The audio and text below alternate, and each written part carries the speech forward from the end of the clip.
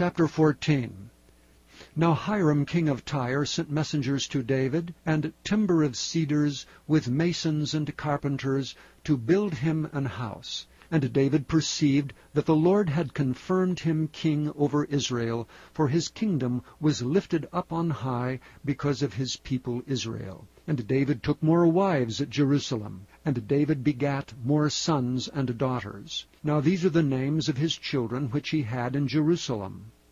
Shammua, and Shobab, Nathan, and Solomon, and Ibhar, and Elishua, and Elpalet, and Nogah, and Nepheg, and Japhia, and Elishama, and Beeliada, and Eliphalet. And when the Philistines heard that David was anointed king over Israel, all the Philistines went up to seek David. And David heard of it, and went out against them.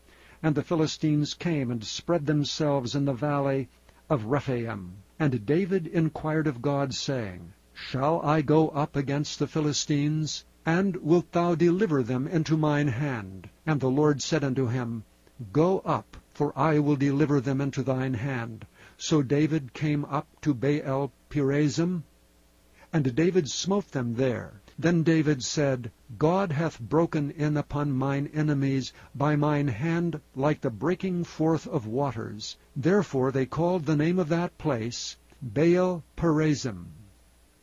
And when they had left their gods there, David gave a commandment, and they were burned with fire. And the Philistines yet again spread themselves abroad in the valley.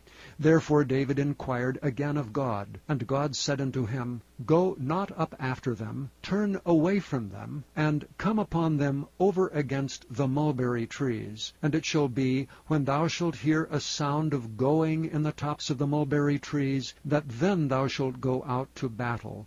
For God is gone forth before thee to smite the host of the Philistines. David therefore did as God commanded him, and they smote the host of the Philistines from Gibeon even to Gazer. And the fame of David went out into all lands, and the Lord brought the fear of him upon all nations.